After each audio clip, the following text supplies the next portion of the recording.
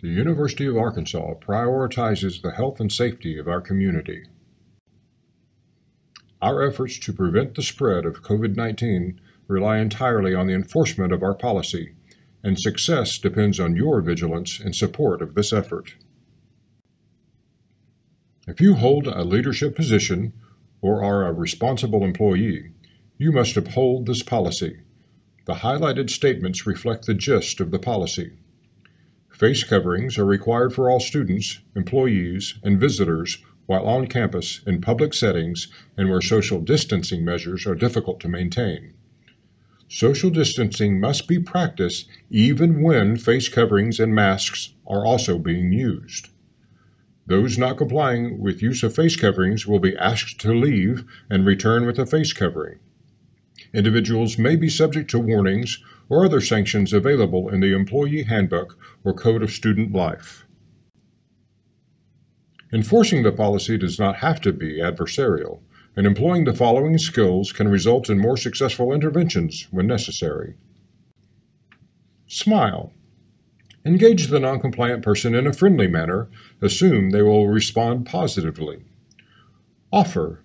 If you have an unused disposable mask, offer it. Engage quietly.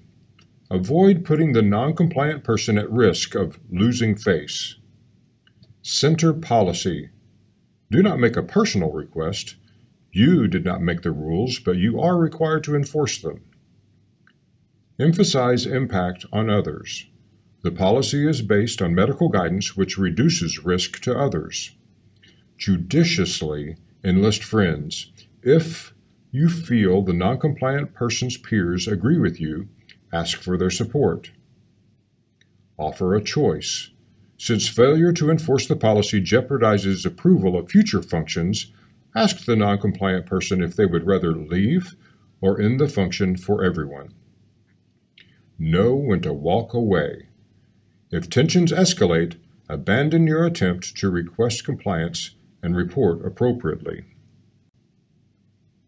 It is helpful to arm yourself with the facts about face masks and social distancing to effectively educate others.